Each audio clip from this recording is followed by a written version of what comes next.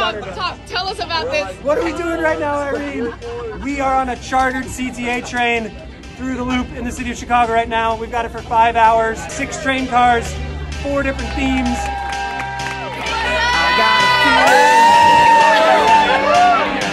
That tonight's gonna be a good night. We're live here with Irene.